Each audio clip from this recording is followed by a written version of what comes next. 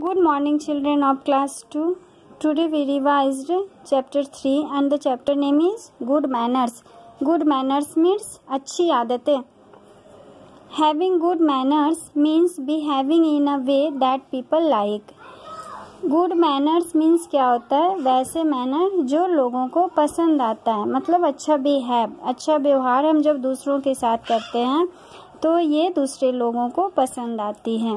No one likes ill mannered people ill manner means बुरा व्यवहार। तो ऐसे व्यवहार को दूसरे लोग पसंद नहीं करते। जनरल मैनर्स जनरल मैनर्स मतलब जो डेली में हम लोग यूज़ करते हैं, जैसे people greet each other when they meet जब पीपल एक दूसरे से मिलते हैं तो क्या बोलते हैं? सम से गुड मॉर्निंग और गुड इवनिंग तो हम लोग एट फ़र्स्ट उन्हें गुड मॉर्निंग सुबह का टाइम है तो गुड मॉर्निंग बोलते हैं और शाम में मिलते हैं तो गुड इवनिंग बोलते हैं।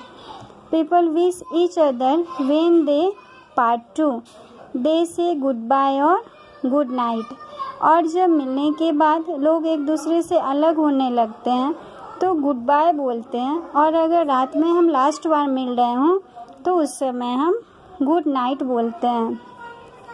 जैसे यहाँ दो लोगों के बीच दिखाया गया है। एक फ्रेंड हावर यू अपनी फ्रेंड से पूछ रहा है। तो दूसरा फ्रेंड उसे fine thank you and you वो उसे रिप्लाई करता है कि, मैं ठीक हूँ, और तुम कैसे हो? एंड यू ये एक गुड मैनर है।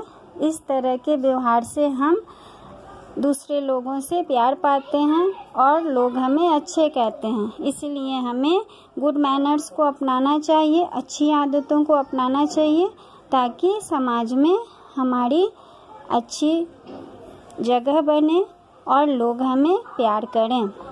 इसके अलावा और से बहुत सारे गुड मैनर्स हैं, जिसके बारे में हम लोग नेक्स्ट क्लास में धीरे धीरे जानेंगे कि और कौन कौन से ऐसे वर्ड हैं जिसका यूज़ करके हम लोग ढेर सारे गुड मैनर्स को अपना सकते हैं। Thank you